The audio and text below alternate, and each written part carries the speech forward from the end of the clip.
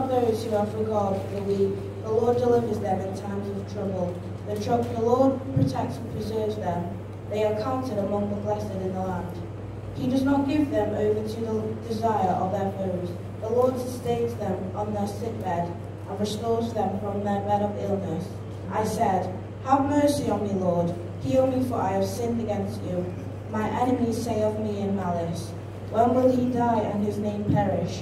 When, of, when one of them comes to see me, he speaks falsely whilst his heart gathers slander. Then he goes out and spreads it around. All my enemies whisper together against me. They imagine the worst for me, saying, A vile disease has afflicted him.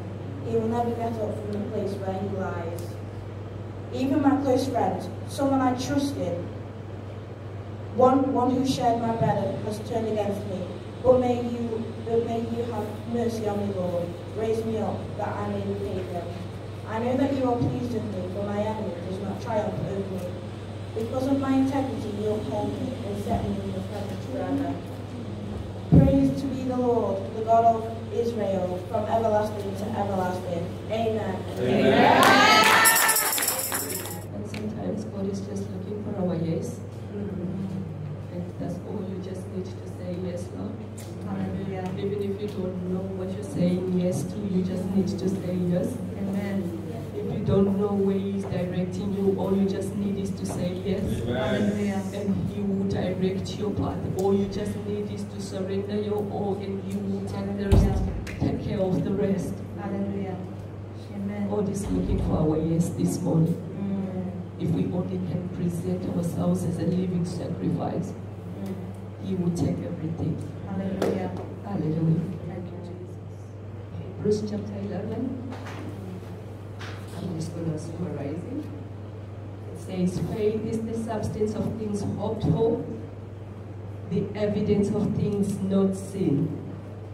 So it is the substance of things hoped for, the evidence of things not seen.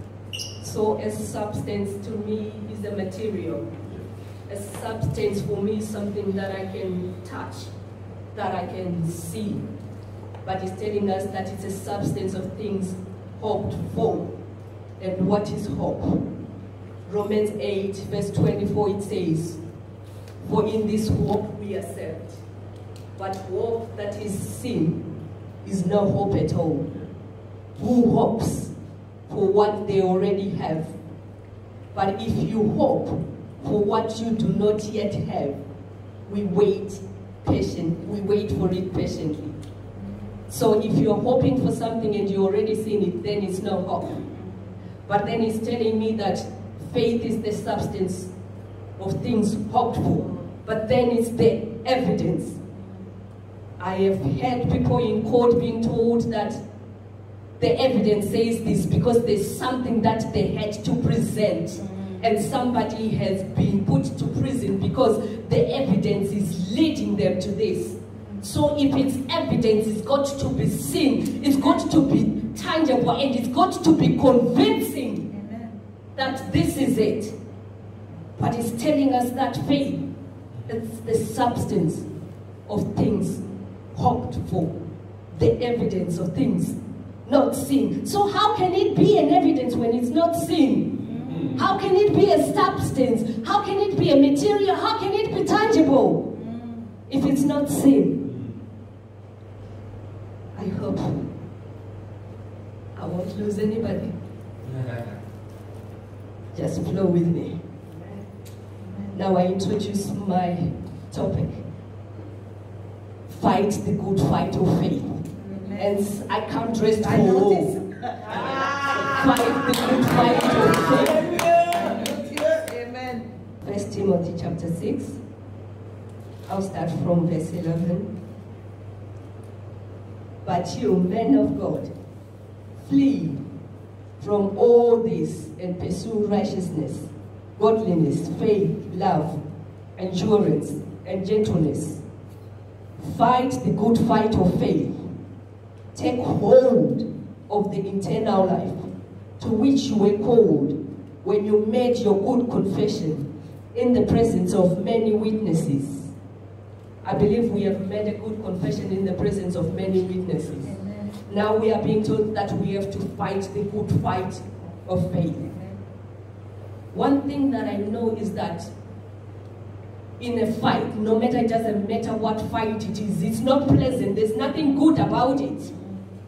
In the fight, some wrestle for, for, for as careers, some fight for fun, some fight for something else. But in the end, it's not really pleasant. Sometimes some people would be left hurt, and some people would even die, and some people would even be crippled. So what's good about fighting a good fight? There's nothing good about it. But yet we are being told that we have to fight the good fight of faith. We have to lay hold, he says, lay hold of the internal life. So for me, this is a fight I must win. Hallelujah. Whether it's painful, whether it hurts, whether it's what, I still have to win. Amen. Because I know I have to lay hold of the good thing, eternal life. Second Timothy chapter 4 from verse 6. For I am already poured out like a drink offering, and the time for my departure is near. I have fought the good fight. I have finished the race. I have kept the faith.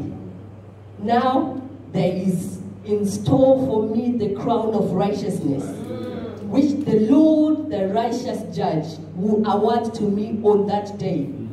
And not only to me, but also to all who have longed for his appearing. So if I might fight the good fight of faith, and my main goal is to lay hold of the eternal life in the end. So to me, right now, it means that this life I'm living here on earth is the battleground. This is now where I have to battle it out. This is where I have to take warfare. This is where I have to fight it all. When I go up, it's just going to be for me to receive the crown and rejoice. So it says, we have made the confession. And when we have made the confession, we know Paul is saying that there's a crown waiting for me. So there's great destiny awaiting for me. As there's great destiny awaiting for me, I have to walk in the in the in the righteous. He says in the righteousness, the crown of righteousness. So it's not just a crown, merely crown. It's a crown of righteousness.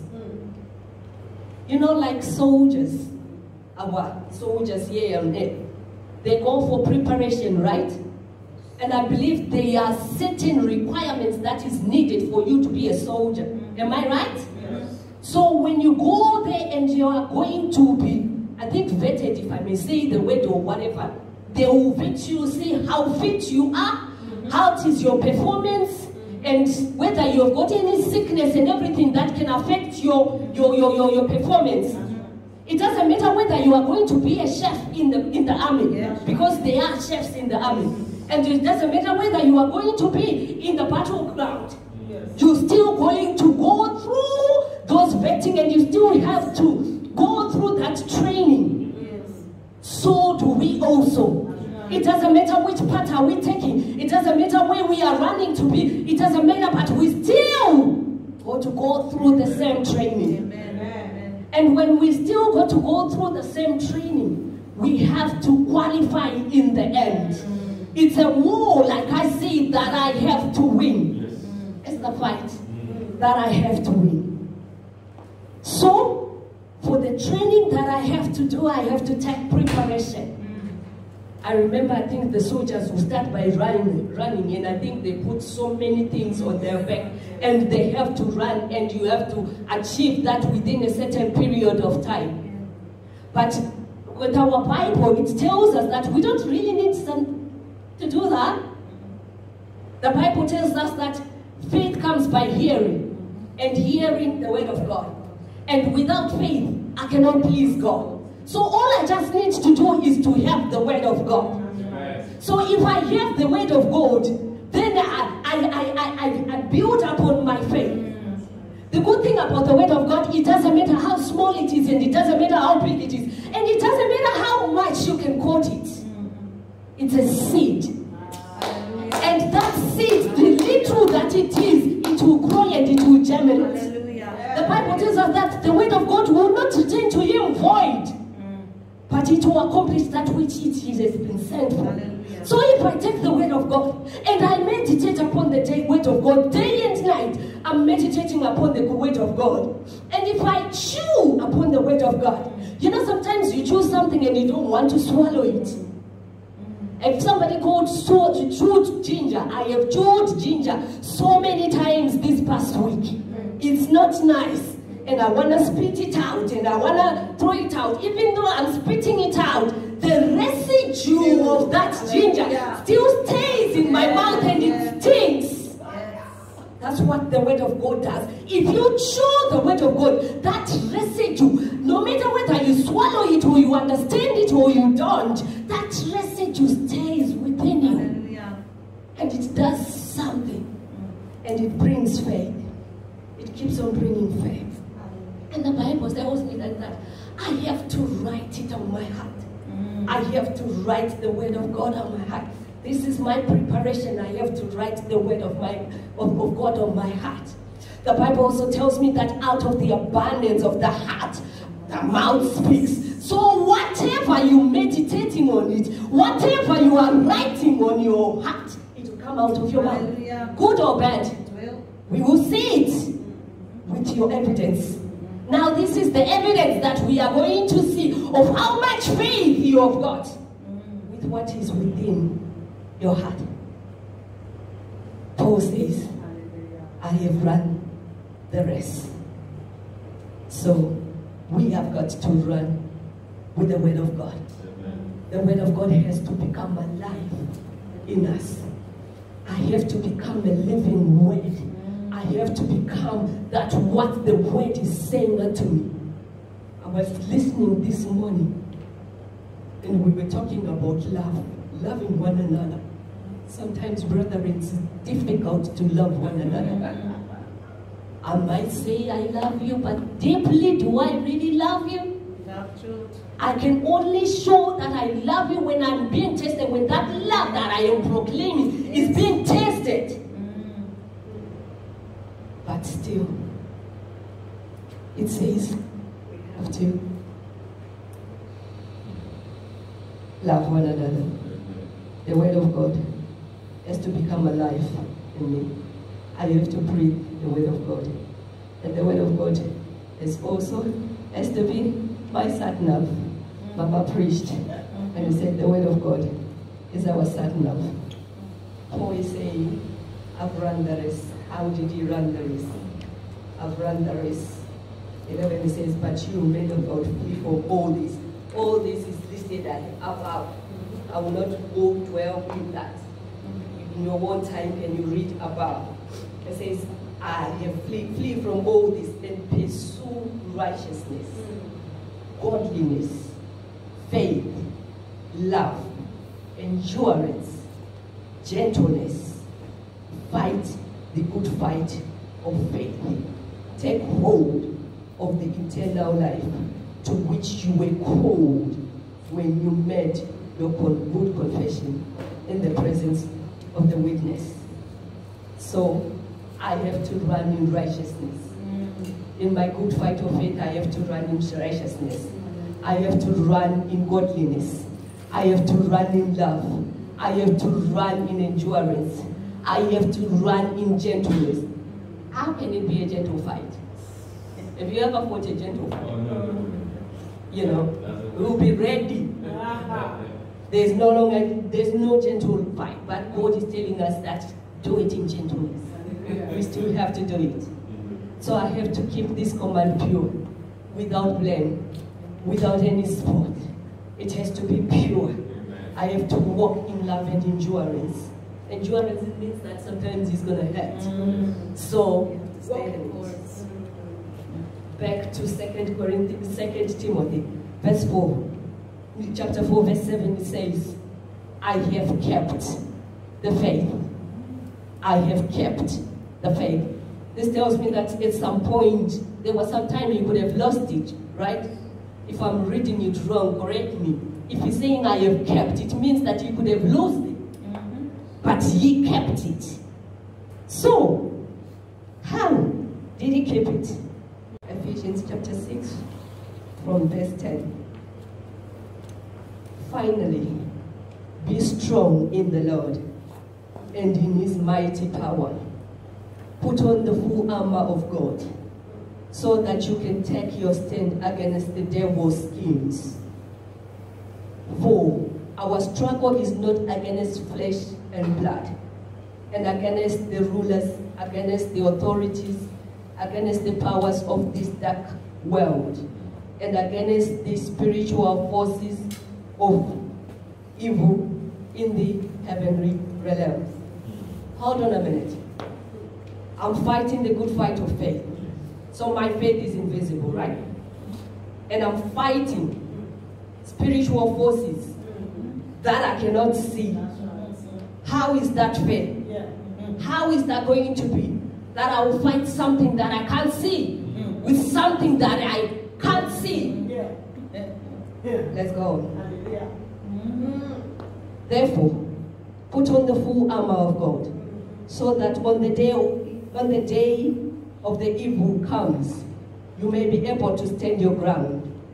And after you have done everything to stand, stand firm then, with the belt of truth buckle around your waist, with the breastplate of righteousness in place, and with your feet fitted with the readiness that comes from the gospel of peace. In addition to all this, take up the shield of faith, with which you can extinguish all the flaming arrows of the evil one. Take the helmet of salvation and the sword of the Spirit, which the word of God.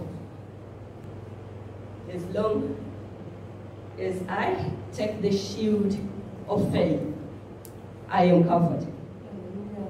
As long as I take the shield of faith, I am covered. The shield is invisible because the enemy does not know what I've got.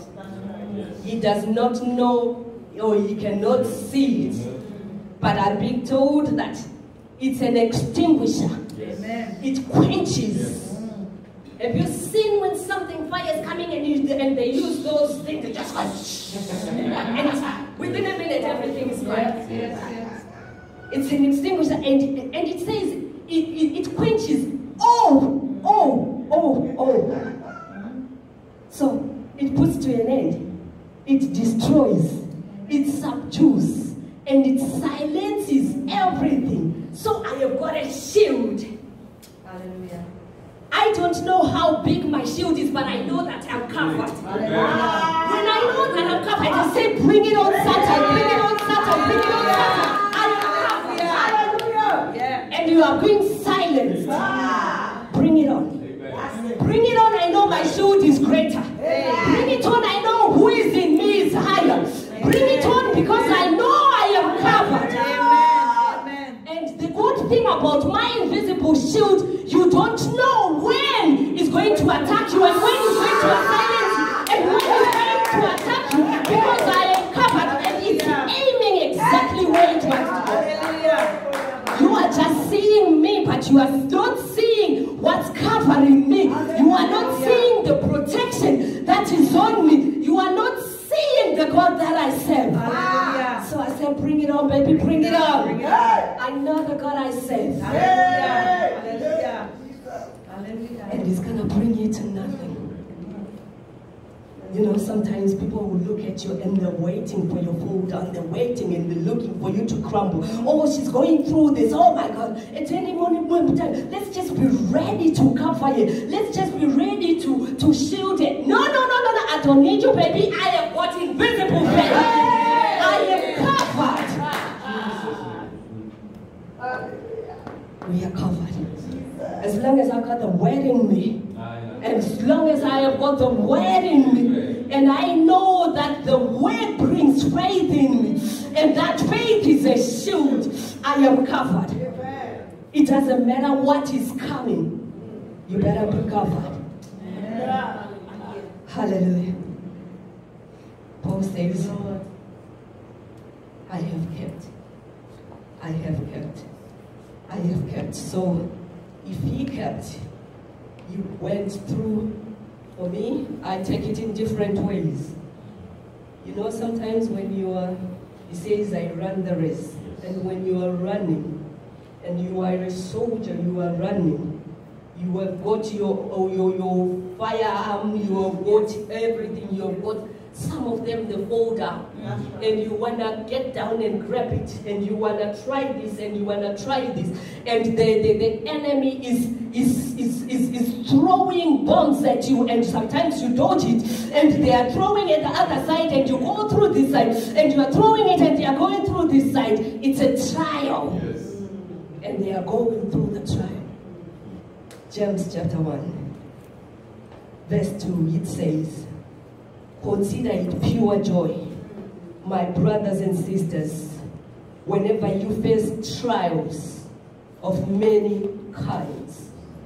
Trials, plural, trials of many kinds.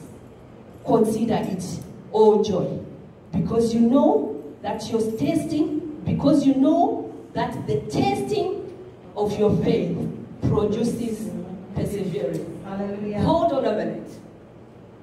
I am going through a trial. But it's not a trial. It's my faith that is being tested. So whatever I am going through, it's a test to see will she hold on? Would she fail? Will she lose it? It's a trial. Verse 4. Let perseverance finish its work so that you may be mature and complete, not lacking anything. I'm going through many trials, right? It's not even a, a trial one. It says trials of many kinds. Mm. So it's not the same thing. They are different types, different sizes of the trials, mm. different everything. If I tell you, brethren, yesterday, I did not think I'll be able to stand here. I did not think I'll be able to stand. I was with my sister, and we were driving, and I told her, I am so hot. Can you touch me? I am sweating. And I was the one driving. What I did not tell her was that I feel like I'm going to faint. I can't even see properly. And I'm driving. And we ended up going on the A500 and I'm like, God, please, I just need to preach tomorrow. Do not let me die on this A500 because I can't see. And I can't tell you because I don't want you to panic.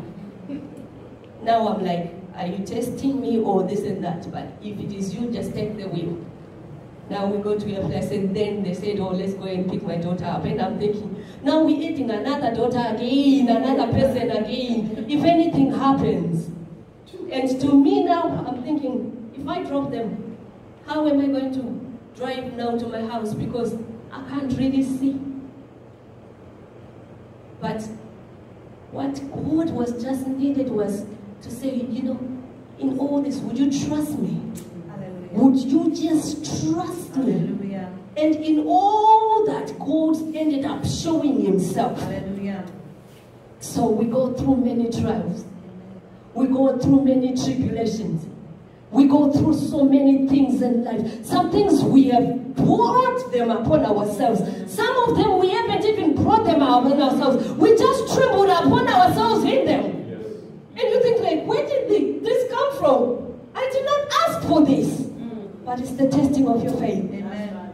But then the Bible is telling me that I have got to rejoice. I've got to sing praises. I've got to do everything and rejoice in it. In that trial, I've got to sing. I've got to shout for joy. Because I know in the end, it's there's a byproduct out of there. That's why I say bring it on Satan, bring it on Satan. Yeah. Because I know in the end there's me. Hallelujah. It's telling me it brings me completeness. You know, sometimes you think you are full, but you are not full. No. You think you got it all, but you don't get it. You don't have it all. He brings you to completeness, Hallelujah. lacking nothing. Hallelujah. And anybody be at a position whereby you don't lack anything. You got everything you need. Amen. Lacking nothing. Oh. Trials. It's a test. It's a test of my faith. Hallelujah. And it's a fight that I must win. It's this fight that I'm fighting that I must win. Back to 2 Timothy chapter 4, verse 8. Paul says, Now there is in store for me the crown of righteousness which the Lord, the righteous judge, will award me on that day. And not only to me, but also to who have longed for his appearing. So, in our fight of faith, in our testing, in this race, in the calling that God has called us for, we must fight the good fight of faith. And we fight the good fight of faith. We know that we went through challenges, we went through troubles, we went through temptation. But one thing we must know is that it is the testing of our faith. And if it is the testing of our faith, it's supposed to bring us to completeness. It is supposed to bring us to fullness. It is supposed to bring us to the end, whereby I will be with my Lord, and He will be saying to me, Well done, thou faithful servant. And I would say, I have run the race, I have finished my course, and He will lay the crown of righteousness upon me. It will be very, very sad that we will stand here and we are all singing hallelujah, praise God. And on that day, we miss the crown. And on that day, we say, Where is Mr. B? Where is CCC? Where are they? And they have missed the crown. We must lay hold of the eternal life that has been presented unto us. It's a fight. It has not been promising that it's going to be easy, no. And it doesn't say that it's going to be smooth sailing, no. But the Bible says that if we write the word of God unto our heart, God will make a way where there seems to be no way. God will be our comforter and He will be our director and He will direct all our path. David says, Once I was young and now I'm old, I've never seen the righteous forsaken. He's all looking for righteousness unto you. He's all looking and seeing that are you in right standing with me, my son? Are you in right standing with me, my daughter? Are you walking according to the way that I have provided for you? On that day, it's not only going to be just you, it's going to be you, you, you, and you. As long as we hold on to the word of God, as long as we keep our faith, as long as we say, Lord, even if it hurts, we are keeping the faith. Hallelujah. Even if it's difficult, we are keeping the faith. Just like the soldier, sometimes it's heavy, but they still run to fight. They are running to fight for the country. Why not run to fight for the kingdom? Hallelujah. Thank you, Jesus. Brethren, for me, I choose this race. I run this race. I know it will be There will be there will be puddles, there will be valleys, there will be hills, there will be everything. But I know my Redeemer liveth. And I know that He will direct our path.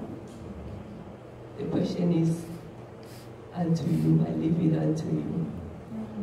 Which race are you going to run? Are you going to fight the good fight of faith? Like I told you, that the fight is not pleasant, but in the end, it's a good fight. Are we to lay hold together the eternal life and we will be praising together with the saints? And we all have our crowns on top of us. Are we to be there? Are we to lay hold of the truth of gospel? Are we to run with it? Are we going to live the way that God has called us to be?